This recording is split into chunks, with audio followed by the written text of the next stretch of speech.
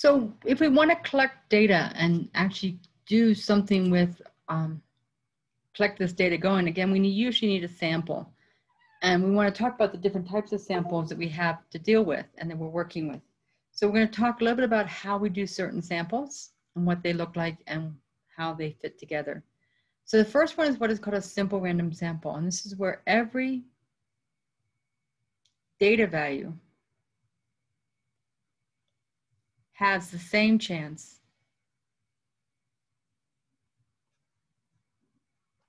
of being chosen.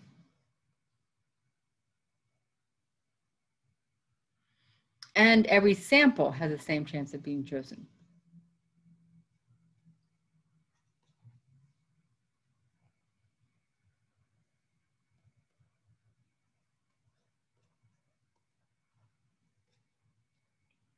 So if I were to take a sample of my students and I were to number them all off, give each student a number, and then randomly pick five numbers, I'd have a random sample of five of them because each person was had the same chance of being chosen to be in the sample.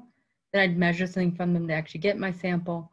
And each sample itself would have the same chance of being chosen the way I randomly pick the numbers is I use a random number generator that will pick randomly, most mostly random for you, um, the numbers for you.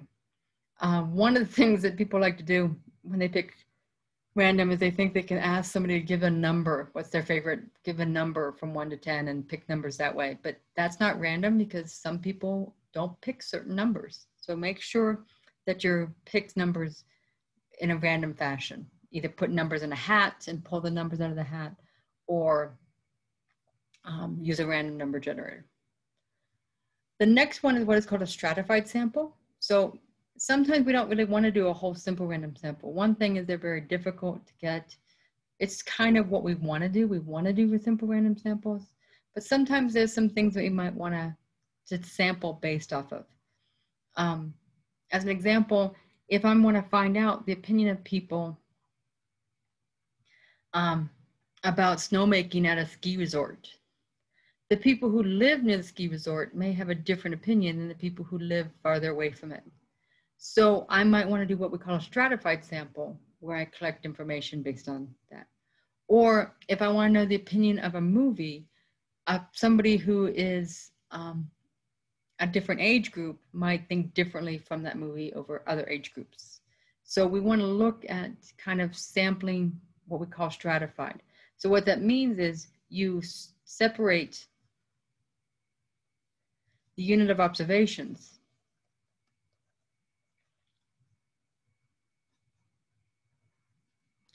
into um, groups, which we call strata. And then randomly pick inside each strata.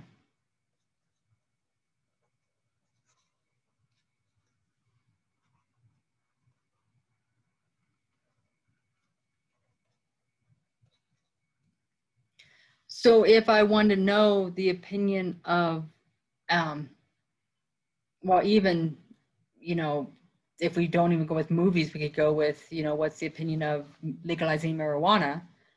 Uh, people who are in their 20s might think very differently than people who are in their 60s. So we could actually separate our unit of observations based off of your age grouping, let's say 18 to, to 26, and 27 to 35 and then 36 to 45 and then 46 to 55 and so forth and then randomly pick inside each of those strata. And that would give us a nice little stratified sample.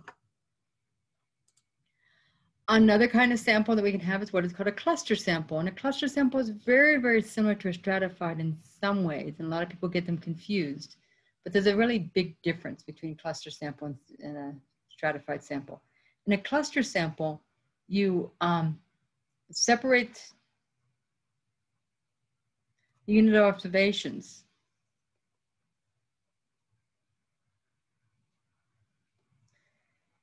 into different groups, which we call clusters. randomly pick a cluster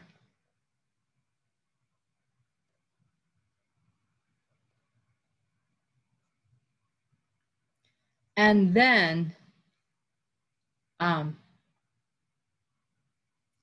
choose, or I guess I'll say, I always have a hard time with what I want to say here, make you understand. Um, so I randomly pick a cluster and then, and then measure, here we go, all units of observation in the cluster.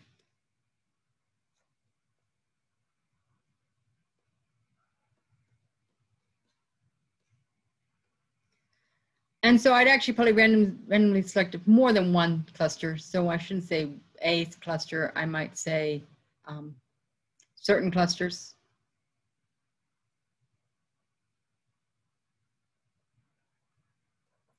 And then measure all units of observation in the chosen clusters. Where we see this mostly is we see clusters um, when we're kind of doing things in a uh, like in a town. So we might take a, a town, put a grid on it, um, and then separate based on that grid. And then I would um, randomly choose certain ones of these clusters. So each one of these squares is a cluster. And then maybe I'd randomly select these three clusters.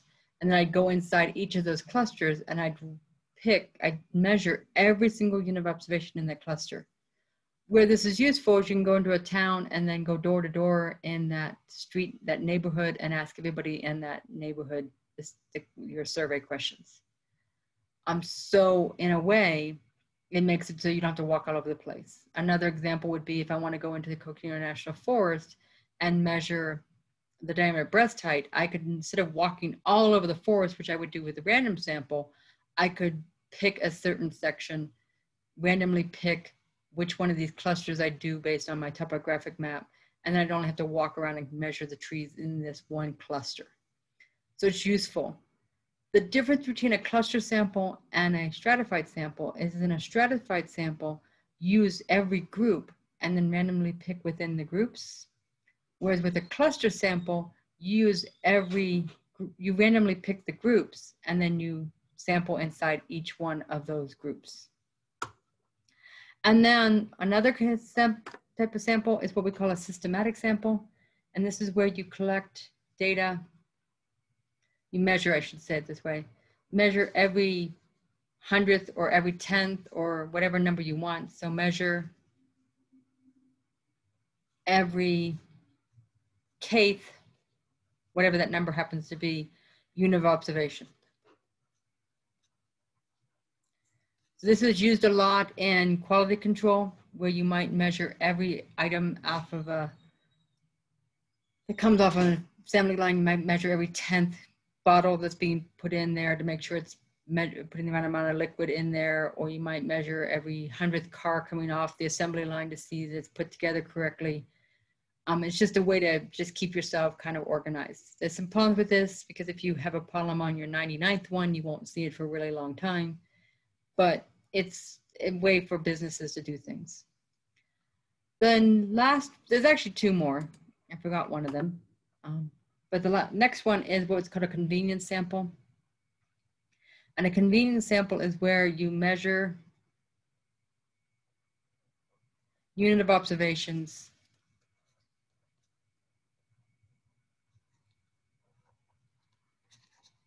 that are easy on the person, on the researcher.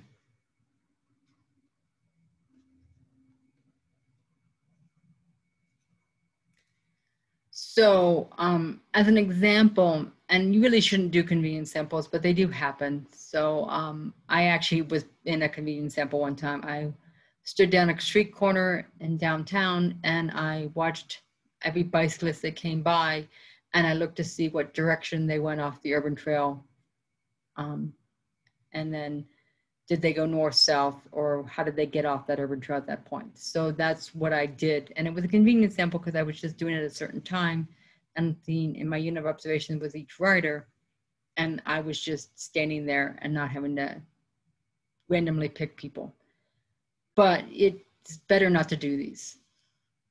Um, the last one that I just want to mention is a census. And a census is where we measure every unit of observation.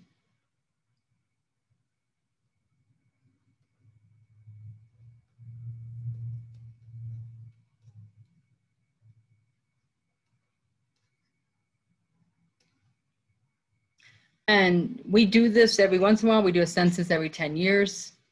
Uh, we don't exactly get every single person in the United States, but we try. Uh, but if you wanted to, you could do census of, let's say you want to know what is the net worth of every senator in Congress. Well, there's only 100 of them. So you could easily do a census and get that information. So these are what we would do with those. These are the different sampling types. There's other ones that exist out there.